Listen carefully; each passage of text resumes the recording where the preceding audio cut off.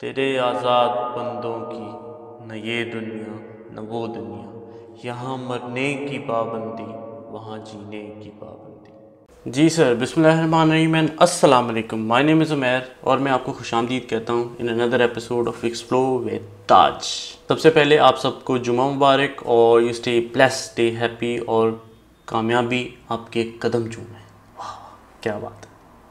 اچھا آج کا ایپیسوڈ اگین فوٹوگرافی سپیکس کے چیپٹر میں آتا ہے اور آج ہم ڈسکس کرنے لگے ہیں ایک ایک صرف ایک پکچر کو۔ وہ میں بھی آپ کو دکھاتا ہوں، اس سے پہلے again story time story time نہیں it is something related جو کہ آگے بھی ہماری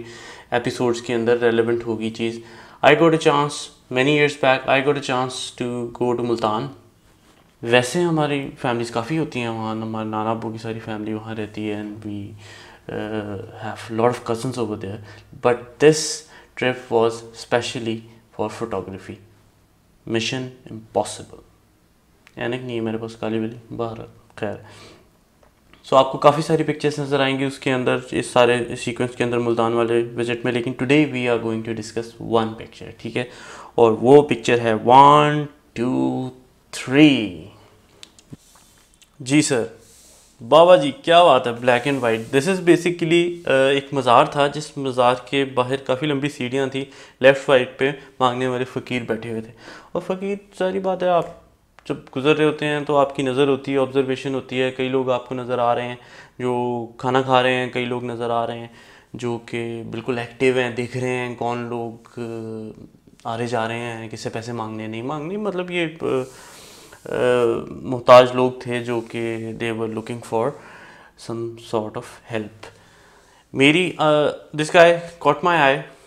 out of nowhere ایک دم میری نظر ان کے اوپر پڑی اور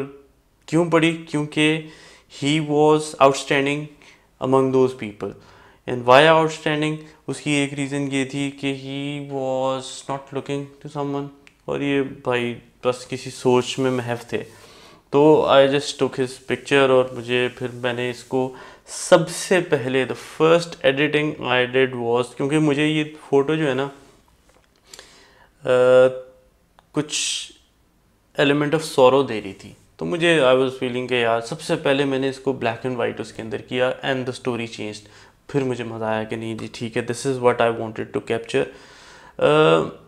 media کا کام تو ویسے بیسیکلی ہوتا ہے، یہ شاید اتنے زیادہ اداس نہ بیٹھے ہوں، لیکن آئی ٹک دیٹ پکچر جب میرے ذہن میں جو اسٹوری تھی،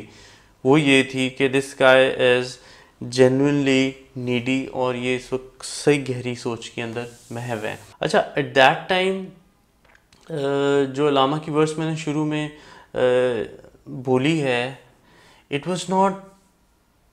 in my head at that time لیکن وہ میں نے پڑھی ہوئی تھی وہ شعر میں نے پڑھا ہوا تھا۔ تو later on one day when I was even after editing this picture it was quite empty بالکل کچھ بھی نہیں اس کے اوپر میں نے لکھا تھا۔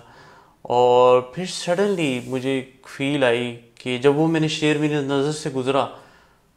کافی عرصے کی بات ہے، دو تین چار مہینے کے بعد کی بات ہے، پھر مجھے ایک دم پھر کلک ہوا کہ یار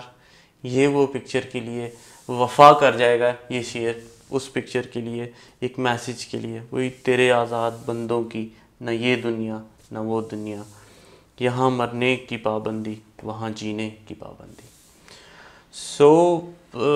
پھر ہم نے انٹرنیشنل اقبال سوسائٹی کو بھی گفٹ کی یہ picture and they I guess they put that on their page as well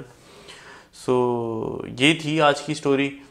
اب پہلے جب میں نے آپ کو بالکل ایک بغیر کسی ٹیکسٹ کے، کسی چیز کے جب یہ پکچر دکھائی تھی اسٹوری واز ڈفرینٹ پھر میں نے جب آپ کو اس کے اوپر اپنا ویو دیا اور پھر جب وہ شعر آپ کو نظر آیا، تو I hope you start connecting the dots